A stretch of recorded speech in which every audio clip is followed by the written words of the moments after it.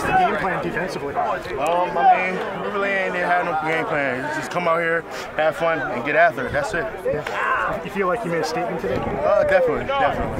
You know, people gonna look at St. Frances as the way now, right now. Talk about you guys just being able to hold Calvert Hall. They had a, they had a couple of interceptions deep in, you, deep in you guys' territory, but every time they got close to the goal line, you guys found a way to kind of turn them away. Just talk about that mentality. We always gonna have faith. You know, family and dedication equals success. That's faith. You know, we never gonna give up. We family, so we're gonna stay together. That's it. How about starting the conference off with a bang here, 14 0 lead, win. You guys uh, off to a good start this season. I'm looking forward to go all the way. Looking forward to go all the way. Yeah, just talk about the importance of winning that first game, the first conference game. I mean, how how just talk about the importance. It's better to be one and zero than zero and one, I guess. Definitely, definitely. This is my first year in this conference, and I mean, I'm ready to show people what St. Frances got.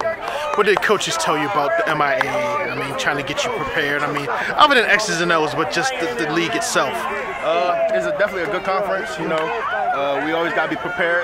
You know, at practice every week, we stay focused and we come out and ball. Yeah. Offense didn't play, and the offense have been really scoring a lot of points the last few weeks. Tonight, it was really mostly on you guys. I mean, just kind of talk about that. I mean, we we are brothers keepers. You know, if they ain't doing it right on offense, not saying that they wasn't, but we going we got their back on defense, and we're gonna turn it over right there. All right, great. Congratulations. Thank you.